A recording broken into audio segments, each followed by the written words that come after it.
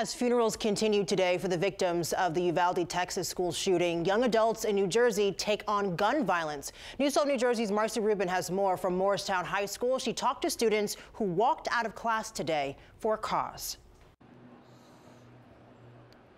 21 seconds of silence, one for each victim of the latest school shooting in Uvalde, Texas. The ages of these victims were 10, 9, 11, 48 and 44. A moving tribute to the lives lost, followed by a much louder demand for change. Really, my goal is to just let us be the last American generation that has to hide under their desks in fear of whether it's a drill or not. Morristown High School freshman Miles Gorman, only 15 years old, organized this walkout and protest in just a few days. But it can really happen anywhere, which is why it's such a scary thing because it can pop up and it can kill so many kids and teachers. Hundreds of 9th through 12th graders walked out of class at noon Wednesday with administration approval and support. Speakers gave firsthand accounts of how gun violence has impacted their lives. Some offered support to victims, others gave advice on how to take action after today. Go register and vote. Some of the student speakers today also touched upon mental health, the importance of getting help for any issue,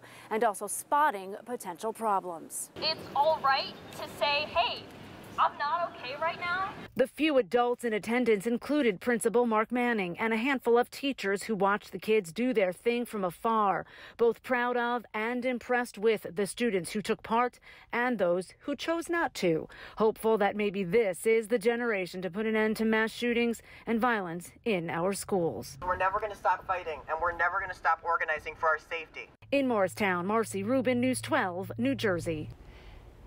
And once again, while school administration was supportive of the walkout, the principal says they were also supportive of students who chose not to participate.